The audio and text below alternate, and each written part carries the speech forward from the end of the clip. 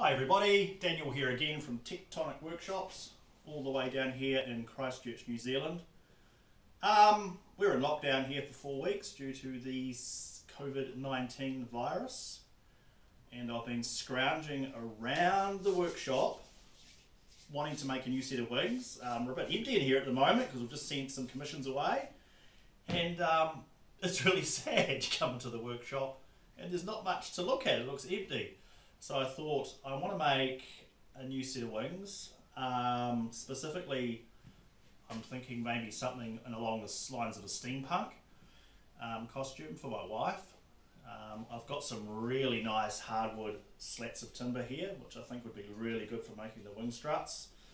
Um, so I've set up my wing jig here. This is the jig I use for working out the measurements.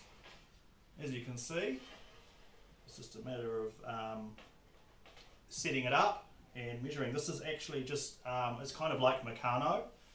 It's steel with heck of a lot of holes drilled in it um, at about 10 mil spacings. So by doing that you can set it up and really easily find the position to put your bolts.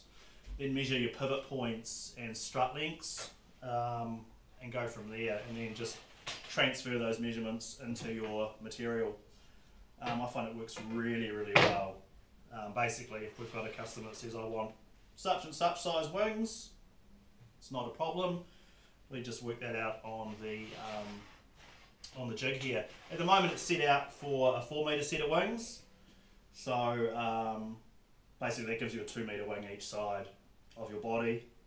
Um, and then you go from there. Um, you'll notice that the actual armature itself is not two meters, but time you build a wing on it, and put your feathers or dragon fingers or whatever you want to do on it that actually runs further off the end of this digit. Uh, we call this the digit, um, the final one, because um, that's what it's called on a bird in the skeleton. Um, so we go from there. Um, so what you work out is your your final measurement as you go. Obviously, the armature is smaller than what you want your wings to be because the wing material will go out further than that because this is like the skeleton and then you're putting your skin and feathers, scales, etc. onto there, um, which makes it bigger. So we're going to have a look at that today. Um, I'm going to do try and do like a um, series of videos and high speed photos as well put together so it looks like a speed build. Um, but at first what I'm going to do is um, put this over to a speed build of me working out the measurements for this set of wings. I think I want to go quite small, just a small cute set of steampunk wings. I'm thinking timber and maybe um, some white fabric wings, or sort of like a white linen, which will look quite cool. Maybe we can get some brass in there and give it that really cool steampunk sort of style. That's the aesthetic we're going for. Um, so yeah, I will jump into this and um, show you how we do it. Okay, so I've just pulled this jig apart um, I don't change these two here very much. Um, I will change the length. Our back brace has a 150 millimeter gap here. Um, the reason being 150 mil or 6 inch is when I get a tape measure and get someone to turn around and go, right, I'll measure your back, that seems to be the averagely the best size that fits along your scapular area, which is where your arm slash wing would come from. Um, so I've left it at that. Um, I'm not going to change that. It means I to change the whole back brace, um, which is not that difficult. I could re-drill it, um, but we've got those done, so we'll leave those as they are. Um, but I'll change the length of the um, two humerus, what we call the humerus bones here. Um, obviously a bird only has one humerus, but we need to make it articulating. Um, and that's the easiest way to do it, using this pentagraph assembly. And then we'll just work out the lengths of the radius ulna and digit from there. so that will be my next mission. You'll see that next.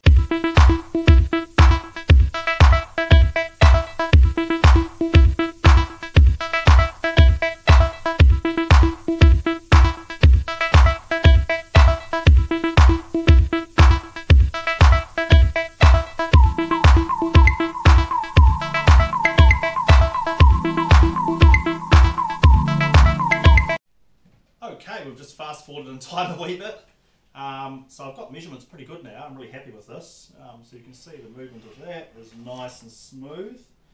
Um, you'll notice here I've got it collapsed right in as far as it'll go. Um, there. The wing's never going to go in that far but due to the fabric, material, motors, etc. Um, I might actually use a pulley system on this because I think it would be quite cool. Um, but yeah, the wing will usually come in with the digits, for, for ours anyway, hanging straight down vertically or a little bit open from that. Um, yeah, they won't close this much because you just haven't got the gap. You haven't got the room. So basically the wing's going to go from there to there. Now that gives me 800 millimeters um, of wing. And that's not from the centre of the body either. So from the centre of the body, it's probably more like 900. So I'm actually, when I make the wings, this digit here will be extended out to give that a metre. Um, so I'll put an extra 200 on that. And that digit will be out there. And that will give me a nice finger length to string off any fabric. Um, so I'm going to look at that next. I'll lay some paper under it and draw out a basic design. I may even make it out of the hardwood first and then put the paper under it because I know this is going to work. Um, it's just a matter of making it do so. Awesome. We're back. Um, so what I've done is I've set out the piece of paper here that I'm going to draw my basic design on. Um, I'm just going to leave the armatron and draw around that because I know what I need to do. I've drawn a one metre line on here, I don't know whether you can see it. Um, but that's so I know that's how far I want my wing to go. So I can extrapolate that length of this digit out to there. Um, and I know that everything's going to work fine. Um, doesn't matter really how long this is. The arm is not going to interfere through here. Um, you do have to consider though that when this is folded up, that it is going to hang down and you do not want that to be dragging below your legs. I mean, right onto the ground, below your feet, I should say. Um, I could probably go myself, our four metre wings, I still had the tips well off the ground. I could probably scrape in a six, definitely a five and a half, not a, no, four and a half, maybe a five metre set of wings, which I do want to do at some stage. Um, but at the moment I just want to do these little ones with some scraps that I've got lying around in the workshop basically and uh, do a little bit of recycling. So there we go, I will get into designing that wing and um, get back with the next step.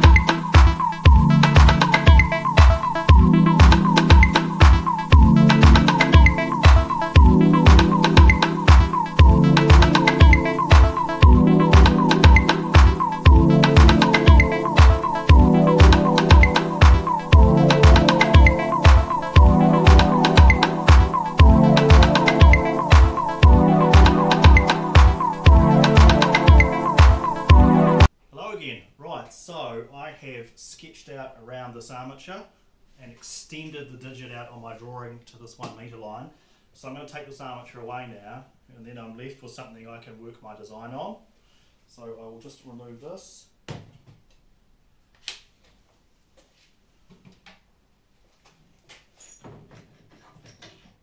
Always a great idea to have this armature clamped down really, really strong.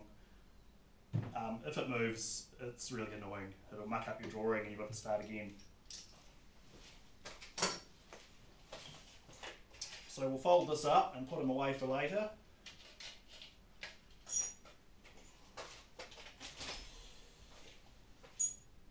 Okay, so what I've got here is a very light pencil outline. So I'm just going to make um, where I want my design to start in a nice dark Sharpie.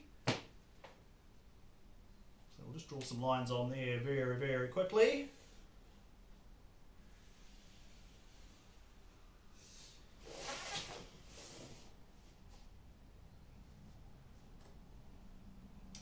I like this line when the wings open to be fully straight.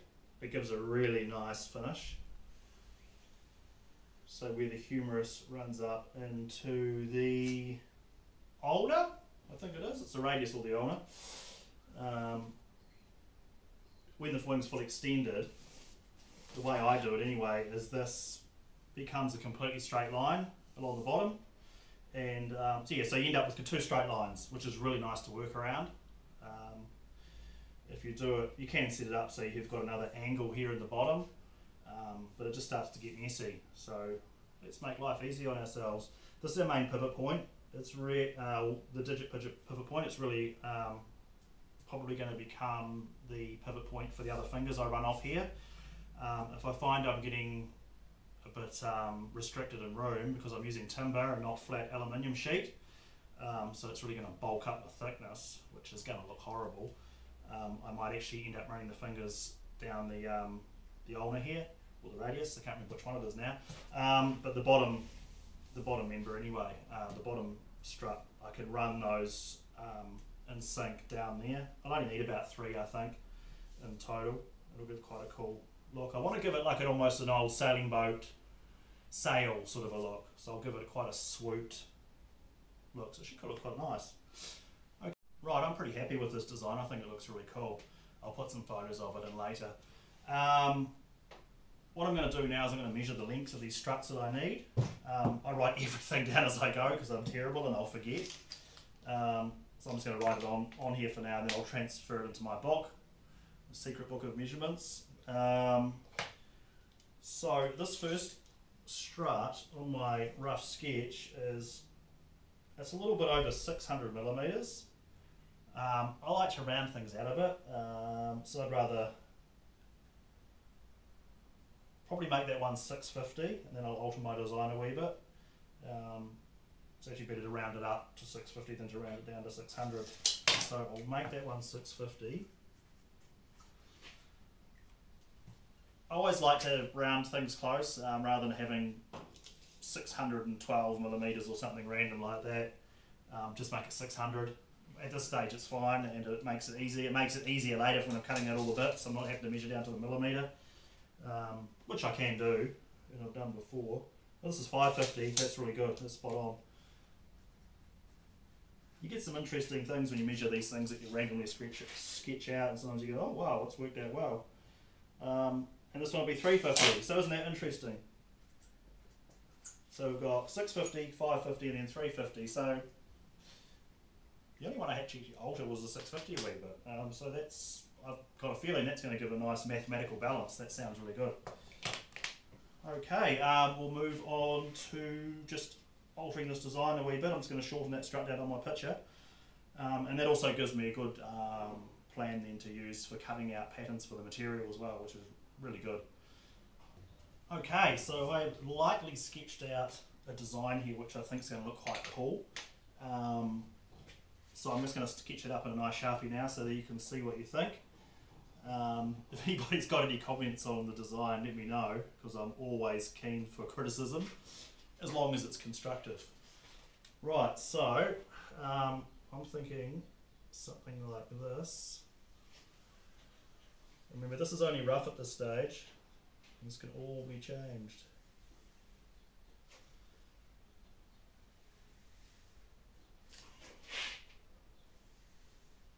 So I've decided I'm going to use the timber, so that's going to make it difficult to stack that all in one pivot point. Um, the timber itself is probably about 12 mils thick, so yeah, we'll be way up there. Um, so I'm going to run the um, outriggers, I guess, or the struts out from um, the centre of each arm. And I think it's going to work quite well. I've checked it on the jig and there's plenty of room, so um, yeah, I think it's going to be quite cool. Trying something different is always fun. Um, and we'll see how we go. So basically that's going to be my basic outline of the wing. And the struts, I think, we're basically going to go up into there. Just remember at this stage, this is a really, really rough sketch basically. It's just so I can get an idea in my head. These, these things are always very organic. Um, and they do change, but I like that shape. I really like the straight drop from the tip. I think it gives it that, as I said before, that sort of sailing boat look. I think this curve here is probably a little bit too extreme. Um, I won't curve that much. Let's put as much fabric on there as possible. Um, but yeah, it's a matter of feeling it out and seeing what looks nice and balanced.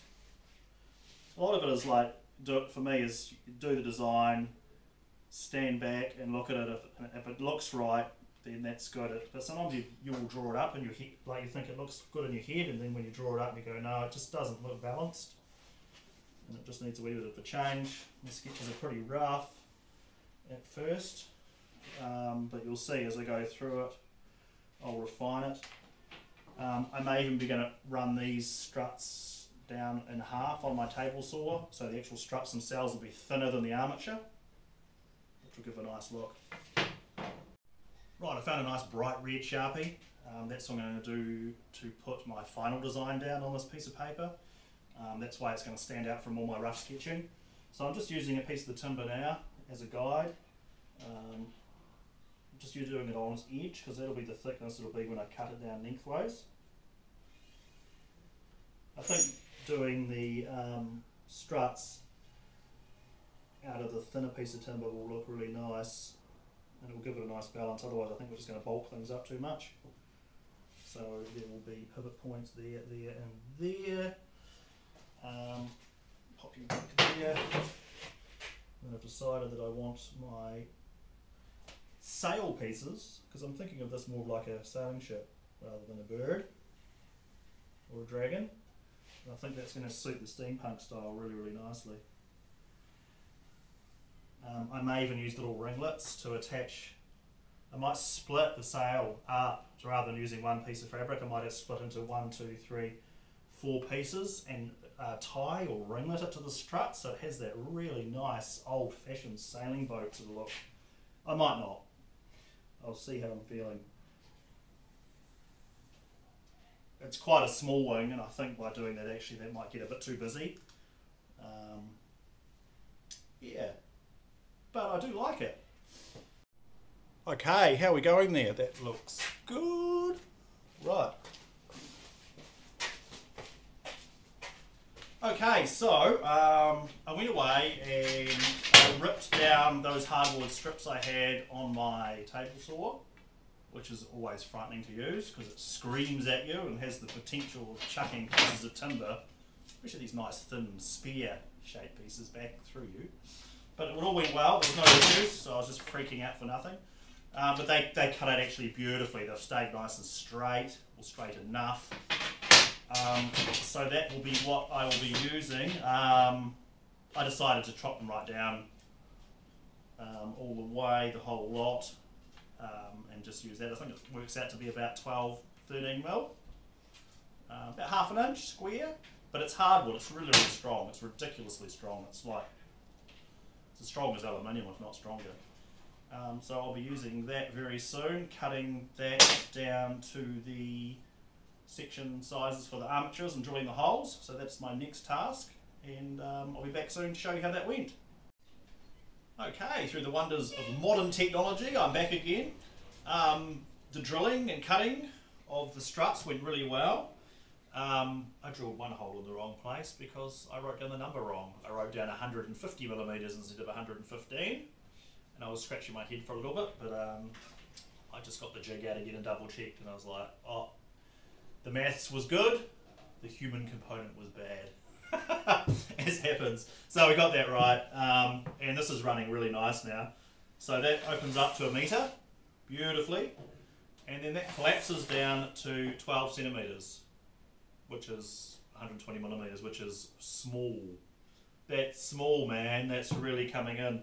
It'll never come in that small when it's bulked up with fabric, etc. But yeah, it's going to be really good.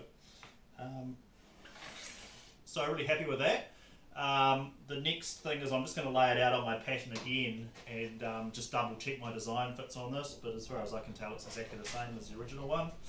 But always like to check twice and cut once. I'm not going to go cutting up fabric that um, I haven't got anyway due to this shutdown.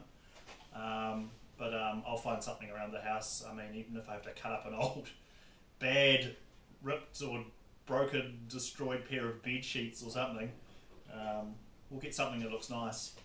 And um, I'm still deciding whether I make the back brace out of aluminium or timber. I have got some nice plywood floating around that would do for a back brace, um, which I can probably make work and save the aluminium for any commissions that might come in.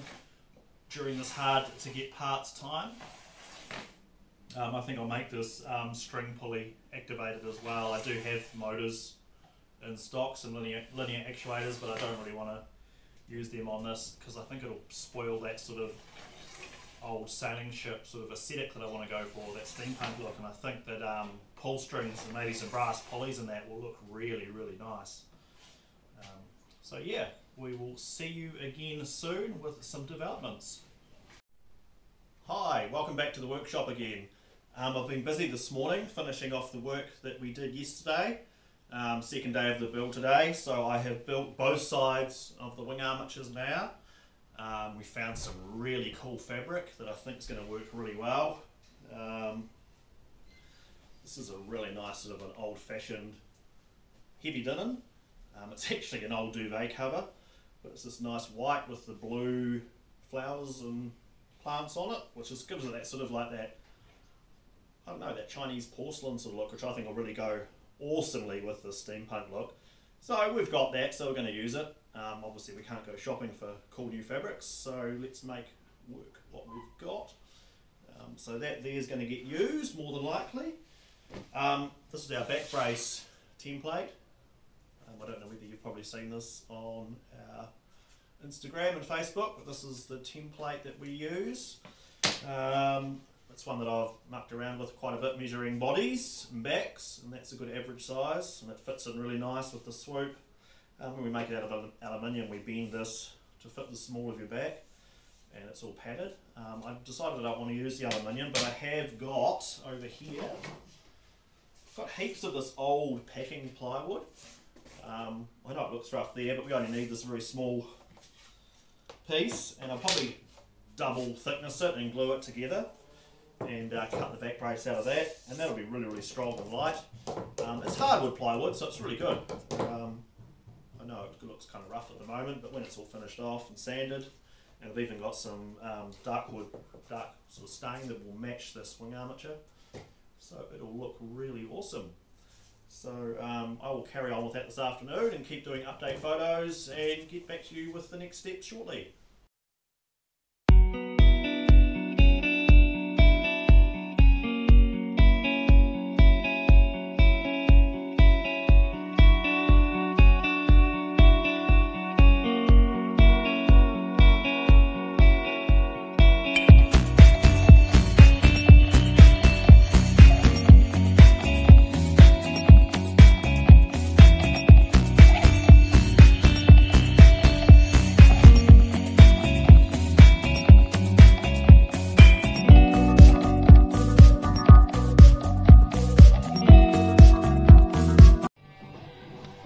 Look what I did, I sewed it. This is my first sail. Pretty good, eh? I did lots of practice first on some old scraps. And this is the first one I've sewn up, and I'm really, really happy with it. Look at that. Look at that for a seam. All the seams are in the inside, because I did it as you should, and then pretty much sewed it up 100%, and then I just sewed up this little bit last after I um, turned it inside out. I'm pretty stoked. That'll certainly do me. Hello, Daniel here again from Tectonic Workshop. Um, finally finished these steampunk sailing boat aesthetic lockdown wing build that we did. Um, I've made these for my wife. They're completely 100% recycled materials. Um, so the timber and that I had in the workshop, that someone gave me some offcuts, and I had to rip that down on the table saw and size it, etc. The plywood was some old packaging ply, which I had to glue and laminate up to make a bit thicker and stronger for the back brace. Um, I even had to make my own spaces up and under the um, back brace mechanism here out of some hardwood timber as well. Um, bolts and nuts we had in the workshop already and I've used some nice fancy gold cord here to string up the sails which looks really nice, looks real flash and sort of goes with the aesthetic. Um, but these are them. I'm so pleased with how they came up. Look at that. Pretty, pretty wings. We've had a lot of comments and thank you very much. Um, had a lot of people suggest that they look like um, the sort of old style Chinese porcelain that had the white and blue glaze on it. and I think that's true. They look really, really nice. So we're really happy with those. As I said, we did a photo shoot yesterday, um, so I'll be putting those photos up after this video. Um, also, I'll be I've videoed this um, from start to finish, so it'll give you guys a good idea of how to build your own. It's um, the first time I've really had to go at a decent tutorial. Um, all the dimensions in that are available. Um, just give me a PM at the stage if you would like to build your own set and I can get you all the dimensions and information you need.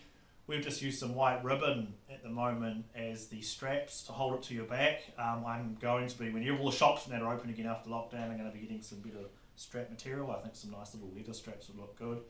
And also I'm going to be getting some little brass pulleys and nice cord. So this will all run um, open and shutting with just some cords that you pull, um, which I think will look really nice. It'll go with this whole sailing ship sort of thing that we've got going on. Um, the wings open and shut really nicely. Um, there's one little loop of thread here that when you open and shut the wings, it likes to slide up and down this um, section of wing strut here, um, just with the way the sail works. And there's a wee piece here that wants to catch as well, which I've got to fix. But it's only very minor stuff. I'm going to replace this thread with a metal loop. Um, I'll get something after lockdown and um, that will allow it to move up and down this member really really smoothly. Just because it's thread it catches a little bit on the timber grain. I did sand it down try and lessen that effect but it's just something that's going to happen.